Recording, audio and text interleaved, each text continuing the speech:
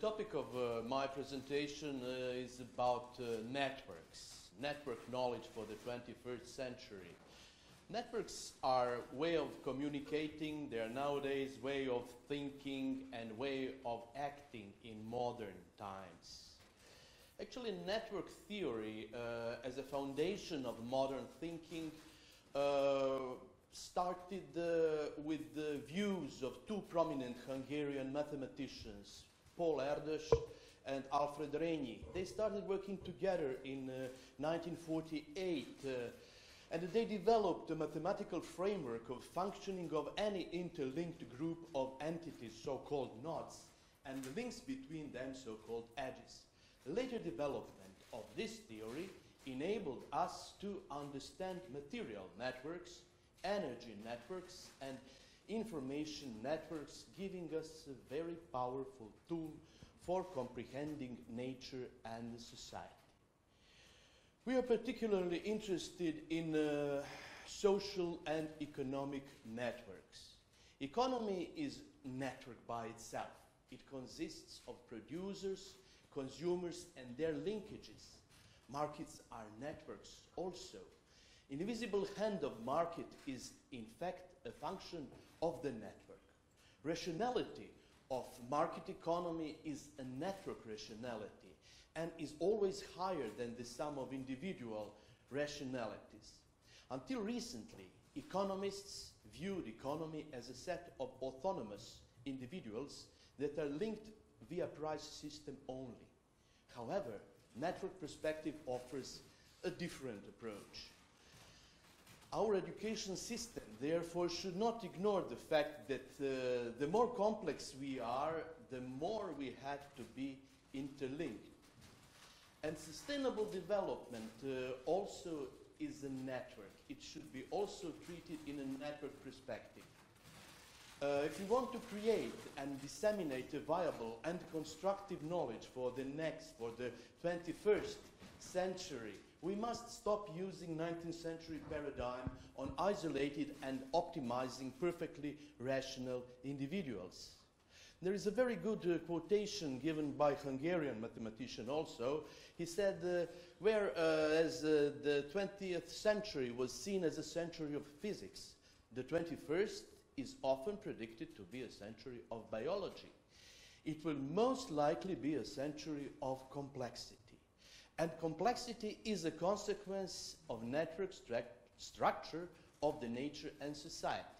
So sustainability concept is a network concept. Sustainable development goals are interlinked, interconnected, and they cannot be achieved separately.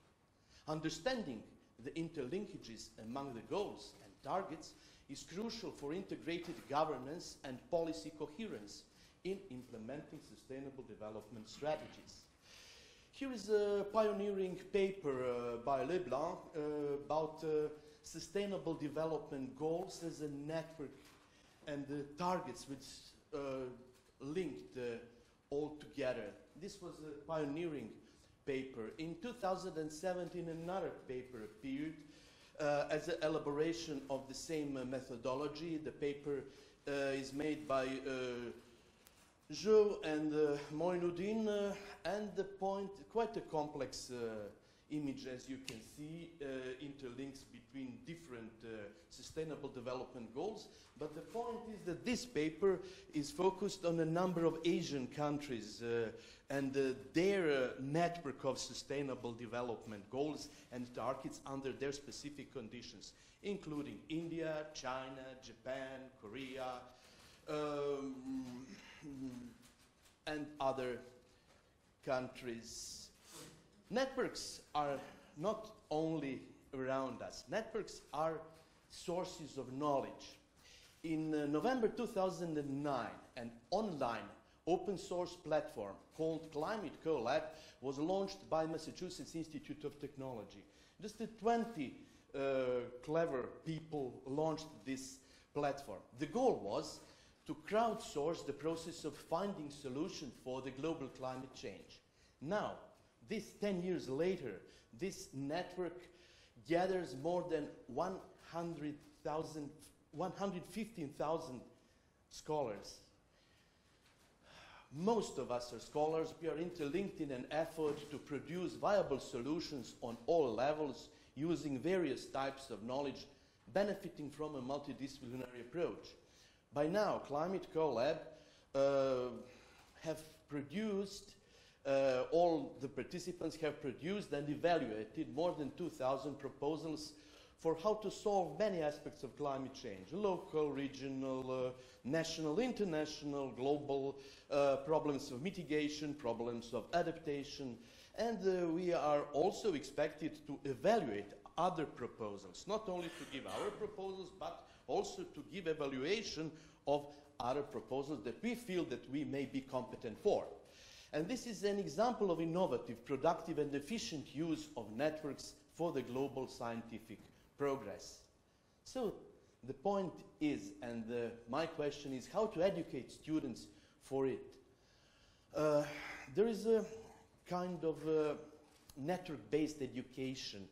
Uh, there is a concept of network-based educations, and sometimes it is said that teachers should serve as a network administrators. Modern knowledge largely depends on our ability to make networks or to join the existing networks. The more complex technology we use, less useful is our individual knowledge. So our ability, uh, where to find knowledge, how to make network, how to be linked, and with whom is a very important for the development on 21st century knowledge. But many questions still remain how to motivate students to join the existing networks or how to make new networks. Motivation depends on a simple relation between benefit of being linked, oh, sorry, um, this is B, and it should be higher than cost C of networks. So benefit of networking depends on, on the value of network, and value of network V equals n number of nodes, number of uh, components of network on n minus 1. The more nodes are, the greater is the benefit of network. The more people are on the internet, the greater is the benefit of the internet. The more people are on the Facebook, greater is the benefit of having access to the Facebook. On the other side, we have costs of networking. We have investment costs needed for creating networks or joining the existing networks paying certain fees for that, and operation costs of maintaining linkages between nodes. The problem is not only how to motivate students, but how, students, but how to teach them how to behave in a network environment. There is, there is a problem of trust, how to find adequate sources and adequate information networks, how to comprehend the network goals, is the network oriented towards uh, good or bad goals? It's a matter of morality. How to recognize the network structure, it's a matter of complexity. How to communicate with other network members, nodes, this is a matter of social skills. And the very important question, is there an authority on the network and who is the authority? Many more questions are to be answered, but networks are and will remain being a crucial component of the human existence.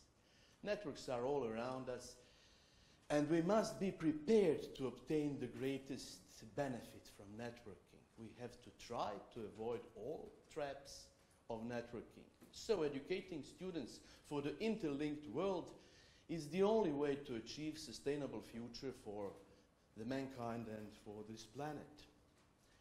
References are here. All the questions are welcome. Thank you for your attention.